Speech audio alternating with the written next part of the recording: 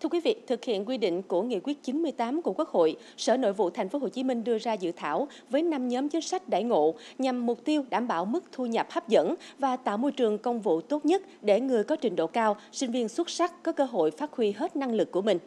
những khó khăn bất cập cùng các đề xuất hiến kế đột phá về thu hút nhân tài đã được các đại biểu nêu ra tại hội thảo lấy ý kiến nghị quyết của Hội đồng nhân dân thành phố về mức thu nhập chuyên gia, nhà khoa học, người có tài năng đặc biệt đối với lĩnh vực thành phố Hồ Chí Minh có nhu cầu thu hút và quy định về tuyển dụng, sử dụng và quản lý công chức viên chức từ nguồn sinh viên tốt nghiệp xuất sắc, người có trình độ cao vào làm việc trong các cơ quan, đơn vị thuộc hệ thống chính trị thành phố Hồ Chí Minh. Hội thảo do Sở Nội vụ thành phố Hồ Chí Minh tổ chức vào sáng nay.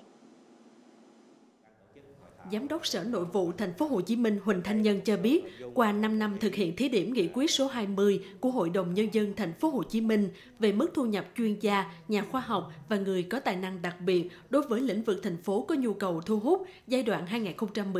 2018-2022.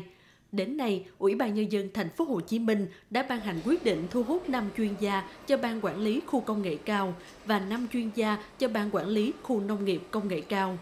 kết quả thực hiện chưa tương xứng với kỳ vọng của thành phố. Chế độ à, chính sách thu hút dù đã được thành phố à, mạnh dạng áp dụng cơ chế ưu đãi cao hơn so với mặt bằng chung à, nhưng chưa thật sự hấp dẫn và giữ chân đội ngũ chuyên gia, nhà khoa học. Việc chú trọng xây dựng môi trường khoa học và tạo điều kiện cho chuyên gia có không gian phát triển còn nhiều khó khăn. Tại dự thảo nghị quyết mới về mức thu nhập chuyên gia, nhà khoa học và người có tài năng đặc biệt, Sở Nội vụ đã dự kiến các chính sách đãi ngộ phù hợp hơn, như thu nhập hàng tháng được nâng lên thành từ 30 triệu đồng đến 100 triệu đồng một tháng.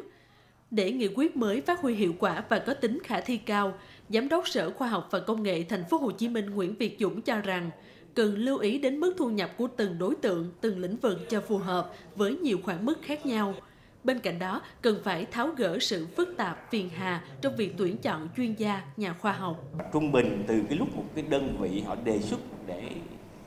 thu hút chuyên gia đó đến lúc họ ký được hợp đồng gần 2 năm.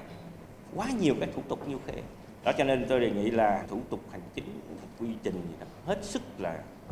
gọn nhẹ thôi. Tiền lệ thành phố mình 24 rồi.